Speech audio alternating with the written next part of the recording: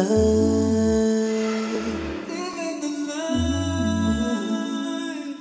the life.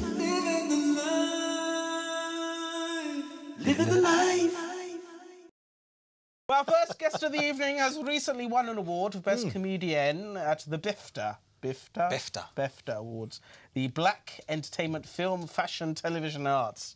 Hmm. She's also an actress, presenter, and a singer. Wow. Hailing from northwest London, she's best known for her rapping and comedy, and just loves to entertain and make people laugh, very much like you, Very Bastard. much indeed. Absolutely. We're here to talk to us more about the award and the journey to it is Melanie Gayle. Welcome. Hey, How hi are you? guys. Thank you for having me here. I learned something already What about did you London learn? Bridge and Tower London Bridge. Bridge. It's amazing, Each isn't brick, they say you learn something every day, and I've already learned it. I'm See, glad I'm here. and you that's probably- where the song London Bridge is Falling Down came from. London Is it? Bridge Because London was falling falling down because they took the bridge apart and sent it to America. That's where it was It tells you falling about See? America's not too smart, are It's they? good to be here and just learn already.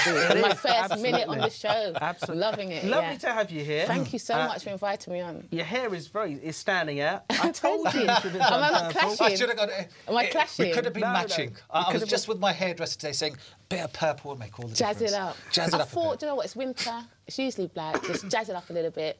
Go for something Why different. not? It's a bit Why radical. not? It's a bit radical, but I've done it. Lovely to have you here. We, we, we were speaking earlier in the break, but you went to uh, a stage school that I, I I, know pretty well. Yeah, yeah. I used to go to Barbara Speake, Barber Speak stage school as a Yeah. child. Um, and when I was there, you know, I learned all the stuff. My hmm. favourite thing was tap dancing. Like I love tap hmm. dancing. Can still do it. Got those jazz, got hands. jazz hands. I got jazz, Jazz hands all day. but when I left, I went straight into the music. Like I was a bit of a tomboy hmm, growing yeah. up, and I was really influenced by Missy Elliott. And I was like the UK version of Missy E. That's what I was going to do.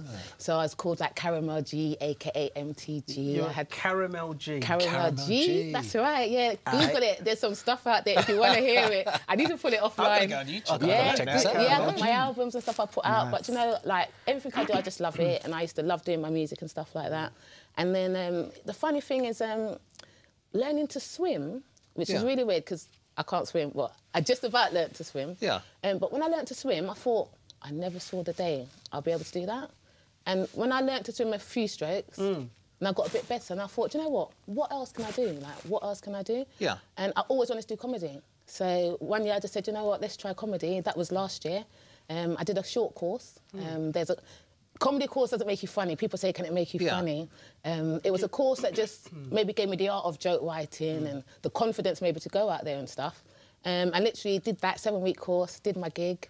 Um, enjoyed it, and then my second gig was in a contest called Golden Jester, Yeah. and I got through to the quarterfinals, and then the rest, and I've just been out there. Fantastic. I've just So, been out there I mean, ever it's since. interesting because you, you went to a course. I mean, I always thought someone who's a comic th- th- is something which is quite naturally intrinsic Yeah, to them, yeah. right? Because it's got to come from your, your personality. Yeah, that's what I'm and, you know. saying. So people always say, "What you know? Did they make you funny?" But I think, Yeah. the, like growing up, uh, people from school days, I was always like the class clown, always the one Yeah. telling the jokes in the family.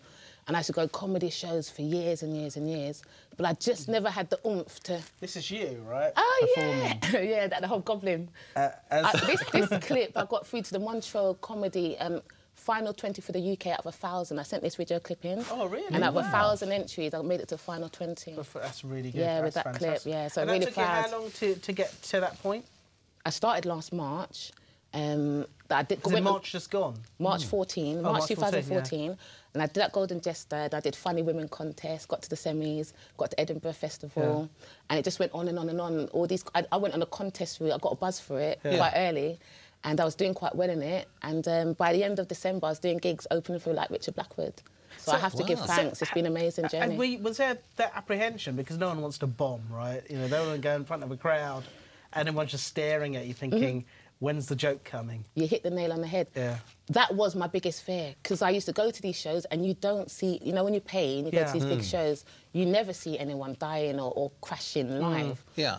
Um, and I didn't know about the open mic sort of Yeah. scene where you just, Yeah. Like every night in London, there's a free comedy. There's comedy every night you can go and see. Yeah. But I only went to the paid ones. If you go to the free ones, you might see a bit more ropey ones, ones that may crash in that. But that's when I realised that everybody has to try.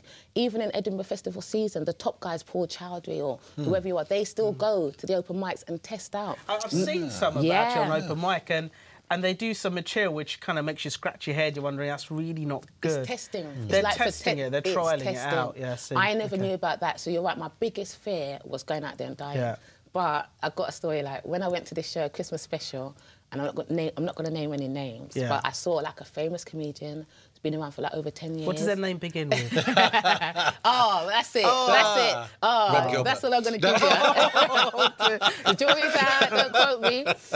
But um, when I saw him die at Christmas, I mean, as in on stage. On stage. no, he's, he's No, alive. literally. He's No- alive. He's no one alive, died. guys. Yeah. He's alive. No one died. What? No, no, no one's died. Yeah. But when he actually crashed then Yeah. live, and I thought, oh my God, Yeah. he's been This is a years. huge name, and it can still happen. So to if it can happen to him, so that was sort of the oomph. Yeah. That I thought I'm going to give it a shot. So that was December. Jan, I went on sis- on holiday with my younger sister, like her and four of her mates I'd never seen before, and I literally one of them was on the floor laughing till she literally Ah. peed herself, literally. Yeah. And I said, you know what? This is beyond a joke. I need to take this up, and that's when I did the course. Wow. But the comedy guy always said to me, no, just just do what you're doing, Yeah. and you'll be all right. Living, living, living the life.